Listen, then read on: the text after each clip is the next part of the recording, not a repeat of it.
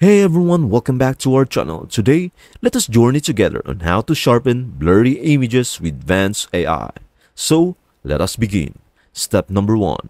Launch your preferred web browser and enter vanceai.com into the browser's address bar. Step number 2. If you haven't already logged in into your Vance AI account to access its powerful features, I suggest you do so. Step number 3. Scroll down to explore the array of capabilities Vance AI offers. Choose AI Image Sharpener and click on Start Now. Step number 4. Tap Click to upload and select the image you want to enhance.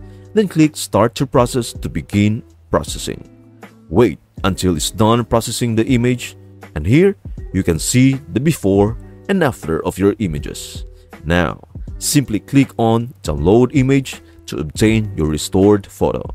It's that simple to transform your photos with Vance AI's image sharpening capabilities. Say goodbye to blurry images and hello to stunning clarity. I hope this video helps you out and see you in the next video.